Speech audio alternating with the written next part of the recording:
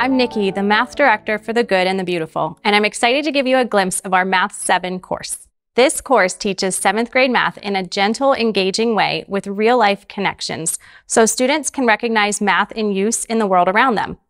Through many of the video lessons, students see career applications in various fields and grow in their appreciation of the beauty of math. This entire course can be completed independently. Parents only need to check their students' work after each lesson is finished. Let's take a quick look at how the Math 7 lessons work. A typical lesson consists of four main sections a warm up, the lesson content, a practice, and a review. Here is lesson 39, solving and graphing multi-step inequalities. Students first complete a short warm-up, which often practices mental math skills. Then they watch the video lesson and complete a video notes section along with the instructor. Next, students can read the lesson overview if desired. In Math 7, the lesson overview replaces the mini lesson found in lower level courses and is a more complete lesson rather than a concise summary.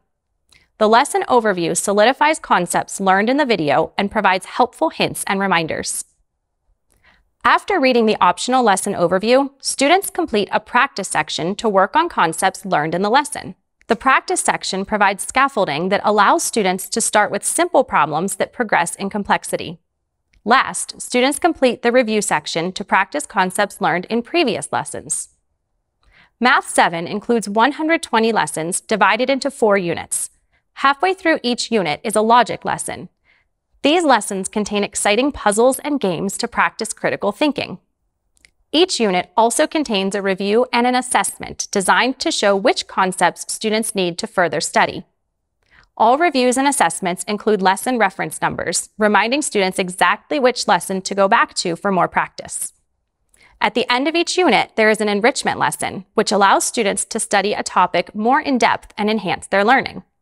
For example, Lesson 60 introduces students to graph theory.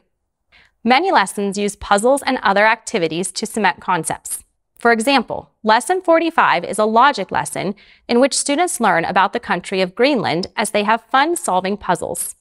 And with hands-on learning in Lesson 94, the surface area of prisms and pyramids is taught as students cut out and assemble these shapes.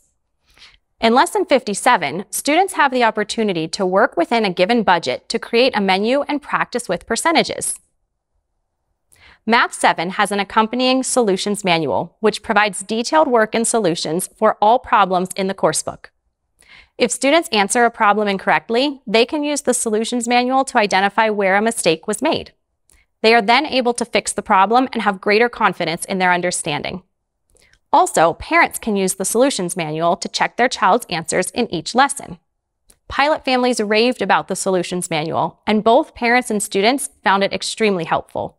Here is a testimonial from one of our Math 7 pilot families. I love how you create the curriculum to help the students see connections in what they are learning. Math makes so much more sense when the connections are clear. Here is another comment about a student who piloted this course. She is feeling really confident with her math right now, and I am so happy. She is moving along well, and she is able to finish her lessons 100% independently and quickly. I love how independent she is, and she loves feeling successful. We hope that Simply Good and Beautiful Math 7 will be a great addition and aid in your family's homeschool journey. Are you new to middle school math?